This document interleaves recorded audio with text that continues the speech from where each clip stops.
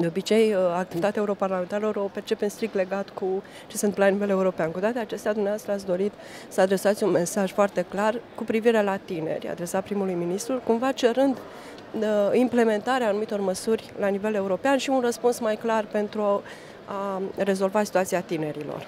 Da, am adresat acel, tocmai fiindcă sunt un om politic european, am adresat acel și am avut ideile necesare pentru a adresa acel mesaj primului ministru.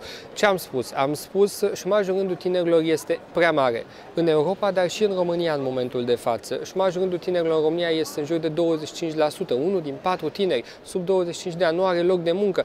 Ori dacă îți începi viața activă cu o perioadă îndelungată de, uh, de șomaj, cred că vei avea un handicap, un, un deficit pe durata întregii tale vieți active. Vei începe să câștigi bani mai târziu, vei câștiga mai puțin, vei, nu-ți poți întemeia o familie. Deci mi se pare esențial pentru ca uh, pentru o bună planificare, pentru o viață echilibrată și personală, pentru a putea cumpăra o casă, a-ți temea o familie. Mi se pare esențial să ai un loc de muncă stabil și bine plătit. Un loc de muncă uh, pe care îl ai astăzi, dar să știi că îl vei avea și mâine. De pe urma căruia să nu, uh, de pe urma căruia să poți trăi, dar într-un fel în care să nu ai grija zilei de mâine, să poți construi, să poți economisi, să poți cumpăra o casă.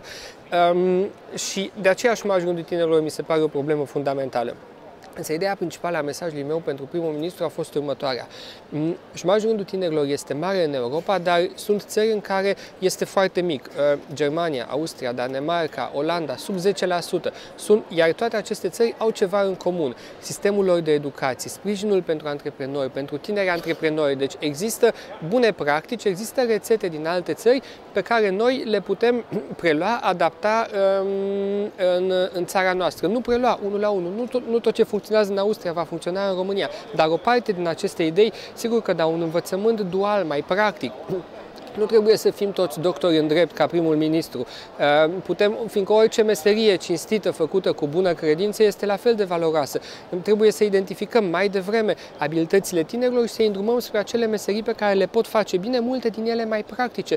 Nu ai niciun câștig dacă ai o diplomă um, de facultate, dar faci faci un loc de muncă pentru care nu ai nevoie de studii superioare și poate nici măcar nu îl faci bine. Nu. Vreau să avem brutai, să avem uh, mecanici auto bine calificați și de aceea cred și așa este învățământul acesta dual, vocațional, practic, care funcționează bine uh, și duce la șomaj foarte mic în Austria, în Germania. Companiile private, sectorul privat se implică în, um, se implică în, um, în educarea tinerilor. În România, cadrul legal a fost creat uh, în timpul ministrului Funeriu, legea există, însă guvernul trebuie să o implementeze. Deci, mesajul meu spre prim-ministru a fost um, există bune practici, aplicațiile și există și bani bani, bani europeni, 8 miliarde de euro, fonduri europene pentru anii 2014-2015, din care câteva sute de milioane doar la dispoziția României pentru a crea locuri de muncă pentru tineri. Ori guvernul nu a absorbit niciun euro din acești bani și, deci, astea este rețetele, există bani europeni pentru tineri din România, există ori, și guvernul nu reușește să absorbă acești bani,